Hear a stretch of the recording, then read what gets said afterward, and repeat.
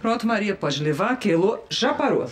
Não parei, não parei. Deixa eu tomar meu copo de vinho. Você já bebeu dois copos. Chega, Lu. O que, que é isso agora? Vocês vão controlar o que eu bebo ou deixo de beber? É pro seu bem. Mas cacete! Querem parar com essa história de que é pro meu bem? Vocês não acertam nunca, eu fico cada vez pior. Quem sabe, né, se vocês fizerem as coisas pro meu mal, a coisa funcione, né? Do jeito que você anda, beber pode piorar. Você tá influenciada por aquela moça lá do mato. É claro que eu estou. E não é só por ela, não. É por tudo que eu ando vendo e principalmente pelo que você anda fazendo. Você anda com um repertório, assim, muito pesado, né, Lu? Quando você tinha ciúmes do Sérgio, você implicava, porque ele olhava pra uma moça, porque dava atenção demais a dotes, etc. A gente entendia e até achava graça, porque era assim, meio folclórico, né?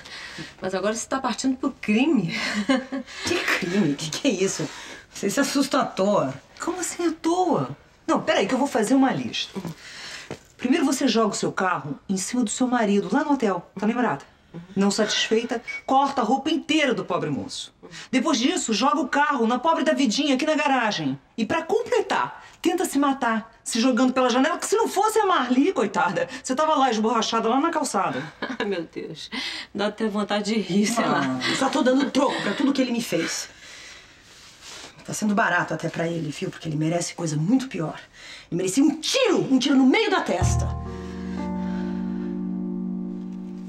Elô, Elô, presta bem atenção naquilo que eu vou te dizer, tá? Se você não procurar seriamente ajuda psiquiátrica, melhor. Se você não procurar uma clínica e se internar pra começar a fazer um tratamento pra valer, nós, nós que somos a tua família, nós que te amamos, nós vamos ter que te internar à força. A força. O que que você quer dizer com isso? Exatamente isso que você ouviu. Contra a tua vontade. Na porrada? É isso? Na porrada. Experimenta. Experimenta fazer isso. Você não é nem louca de tentar. Eu tô muito bem fazendo a minha terapia indomada. Você não tá fazendo nenhuma coisa nem outra. Para de enganar, gente. Para, para, para de se enganar! Você tem faltado a terapia também. No último mês, só foi a uma sessão, que nós sabemos. O que, que é isso? Vocês estão me monitorando? Vocês estão me seguindo? Vocês estão investigando as minhas atividades, os meus dias? Vocês já colocaram câmeras e gravadores no meu apartamento ou esse vai ser o próximo passo? Larga de ser boba. A gente não precisa fazer isso. A gente não precisa fazer isso pra saber o que você anda fazendo e principalmente o que você não anda fazendo. Todo mundo sabe, Elô. Os porteiros, os vizinhos, todo mundo sabe o que você apronta. Escuta aqui! Eu proíbo vocês de se meterem na minha vida, viu? Eu proíbo! Eu já não sou mais criança, eu sei muito bem o que eu tô fazendo. Se eu achar que eu preciso de uma ajuda médica, eu vou procurar. Agora, vocês não vão me internar à força. Porque eu boto fogo naquele apartamento, eu boto fogo no prédio, se vocês tentarem, tentarem me internar contra a minha vontade. Vocês ouviram?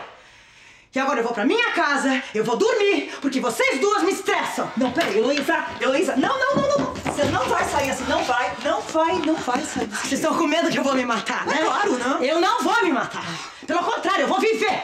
Eu vou viver porque eu quero ver muita gente morrendo antes de mim.